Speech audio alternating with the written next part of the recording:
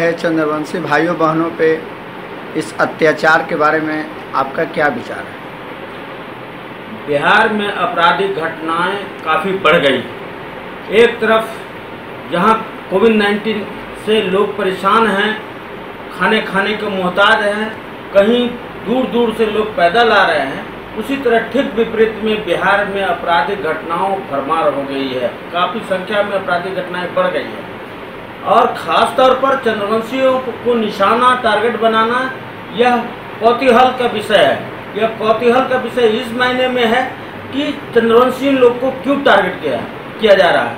आप जानते नहीं हैं, चंद्रवंशियों की संख्या बिहार में करोड़ों करोड़ की संख्या में है और चंद्रवंशी ही नहीं, चंद्रवंशी सहित तमाम अति पिछड़ा पिछड़ा और दलित, महादलित लोगों के साथ भी आपराधिक घटनाएँ हो रही है। इसके ऊपर सरकार को संज्ञान लेनी चाहिए। और मैं तो लॉकडाउन में हूँ और लॉकडाउन का पालन कर रहा हूँ। लॉकडाउन जिस तरह जैसे ही खत्म होगी, मैं बिहार के डीजीपी से मुलाकात करूँगा, बात करूँगा और अपनी समस्याओं को रखूँगा। और ख़ास तौर पर यहाँ के जो मंत्री हैं, मैं उनसे भी बात करने का प्रयास करूँगा कि आखिर में क्यों निशाना बनाया जा रहा है। क्यों इस तरह की घटनाएँ हो रही है? आपराधिक घटनाओं पर रोक लगाए सरकार।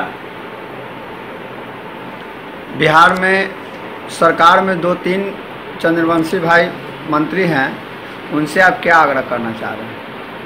देखिए बिहार में सभी चंद्रवंशी जो हमारे गार्जियन हैं वो उनको आगे आना चाहिए क्योंकि वो संवैधानिक पद पर हैं उनको आगे आकर बढ़ चढ़कर सरकार सड़क से लेकर सदन तक लगे उनको आवाज़ उठानी चाहिए और तमाम बिहार वासियों को पर हो रहे आपराधिक घटनाओं के लिए चिंता का विषय उन्हें व्यक्त करना चाहिए। अरे हमें हम तो सड़क के आदमी हैं।